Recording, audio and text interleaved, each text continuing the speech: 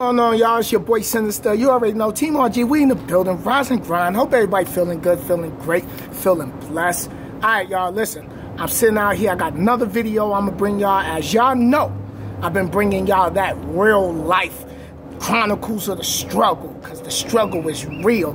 And I'm sitting here with a brand new Knight driver, and I'm gonna let him introduce himself to all of y'all out there in the world. Introduce yourself. Tell him where you from. I'm from Temecula, California. I'm 21 years old. My name's Jaylen. There you go. Now, Jaylen, you on, uh, you in Squire on, in Squire, right? Yep, that's right. Okay, so he's here in Phoenix right now. So before you got tonight, what was some of your trials and tribulations? What was some of the struggles that you had to deal with just to get here? Well, I dealt with three different companies, trying to get on with three different companies. The first one was uh, Covenant Transport. Right.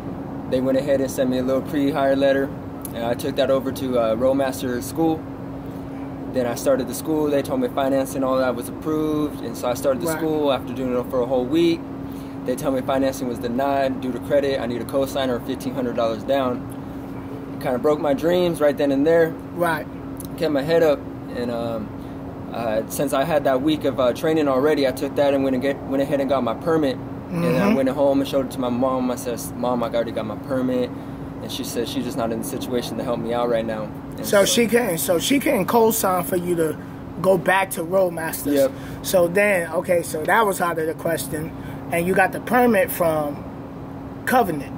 When you was- Uh, yeah. okay, so you was at the training. Covenant for a week, Mm-hmm. After got training. the permit. Okay. Yep. So what what you do after she told you moms couldn't help you out? I went ahead and call, uh, called my job back and told them that I was able to work full time again, Okay. trying to get the money up. Where was you working at? Del Taco.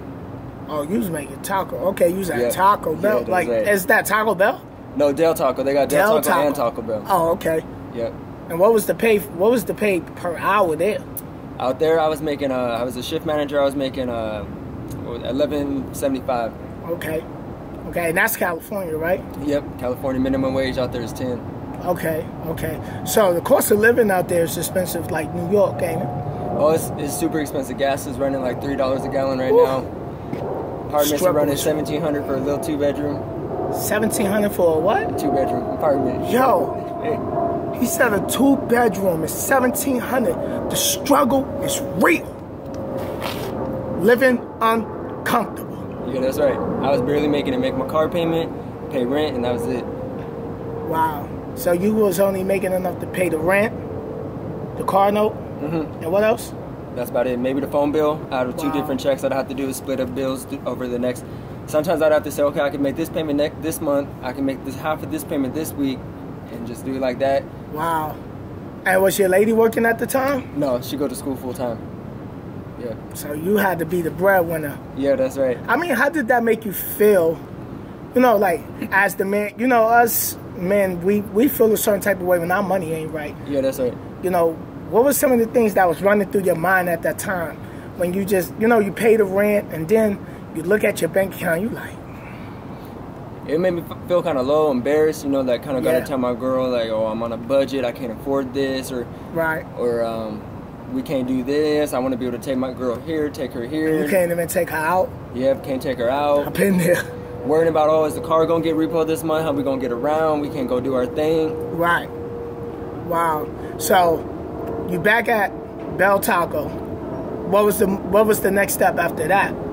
Then I went ahead and um, so after that I seen um, was it? It was Swift Transportation. Seen them online, so I went ahead and shot them my application real quick. Filled it out. She told me she called me back after about a day. Told me everything cool. We ran all this. You ready to go? We got your uh, hotel set up, everything. So once again, I quit Delta. Well, not quit. drop my hours to part time, like maybe one day a week. Right, right. Taking the chance. So you got up to Swift. Yep, got up to Swift out here in uh, Fontana, California. Right.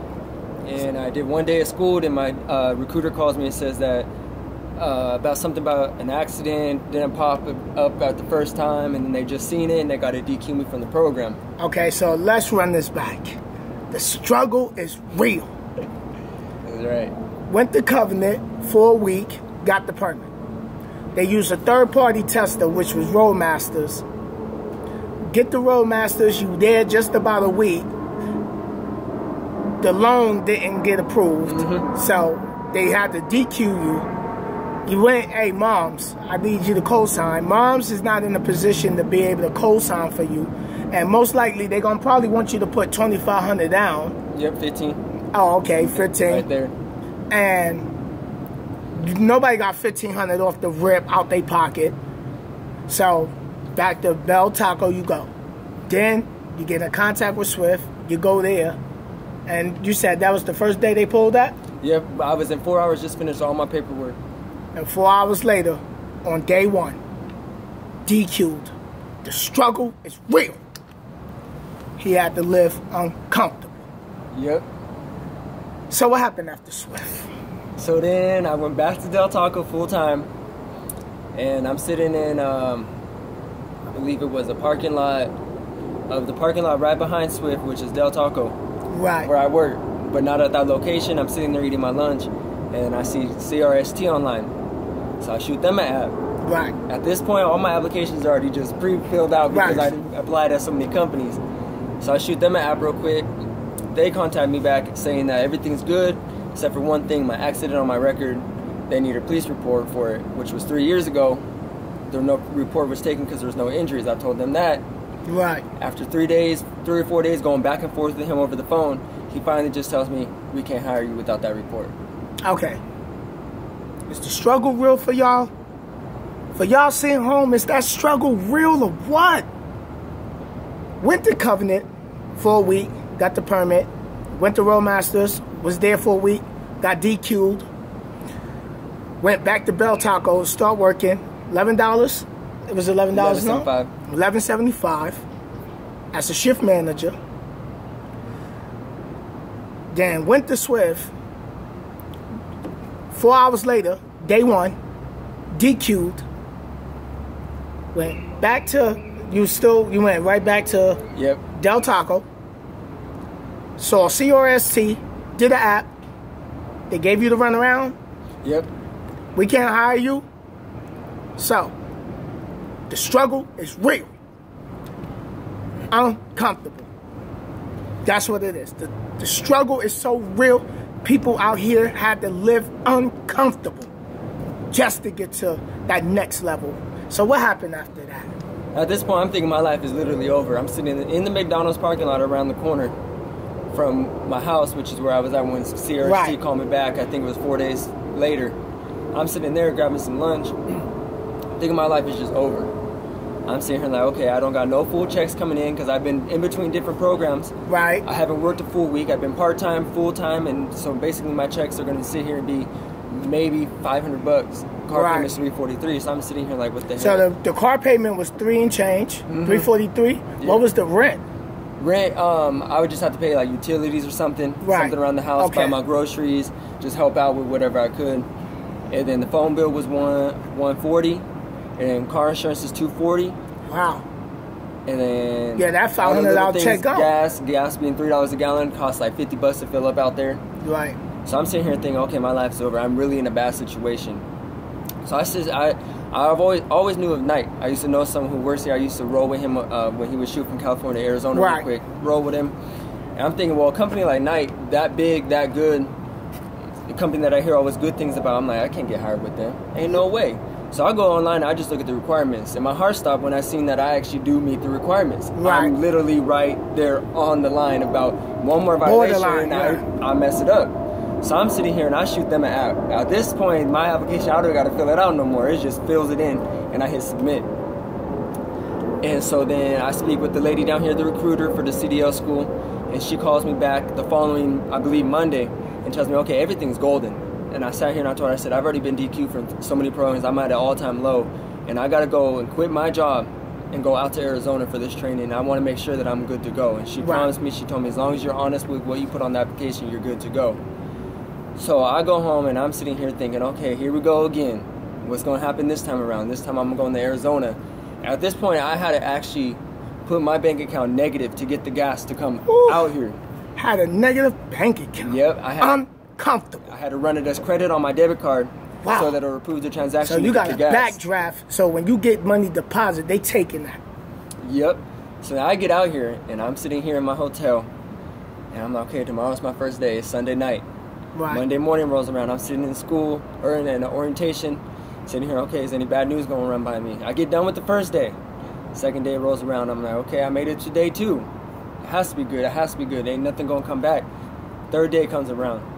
I'm sitting here like, okay, it has to be the one. It has to be the one. We get coded today. We get our badges, everything today. And then about um, 11 o'clock, I get I look at my email. I've been checking all morning for my pre my post hire documents. Around 11 o'clock, uh, yeah, I believe it was 11 o'clock. Mm-hmm. It comes through and it says, "Congrats on your next step in your career with Knight Transportation. You are officially hired."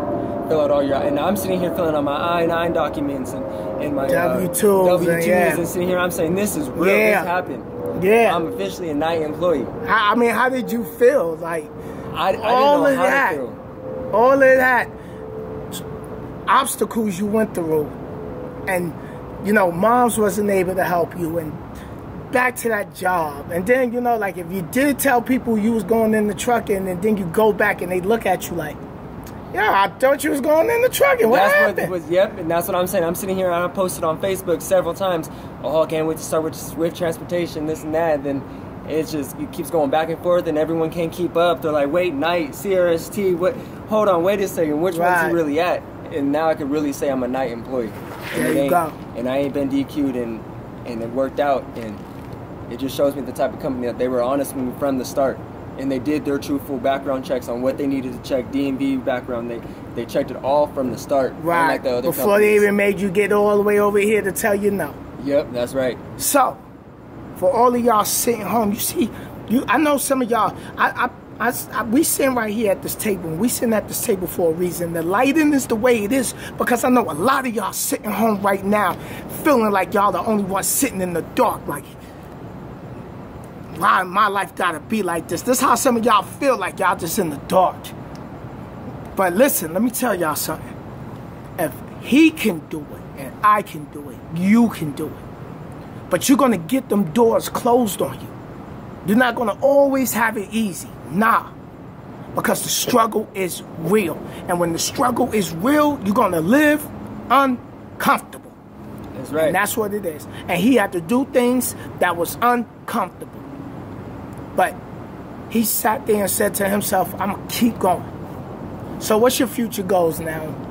My future goals is this is a whole new lifestyle. This is a whole new thing, and I'm loving it so far. I've loved everything that has come my way so far. Right. Um, I my start off as a company driver, just see where it takes me, owner or op, Mm-hmm. uh, where wherever it goes, wherever it goes. That's Right. my goal. Is my goal is to just make it.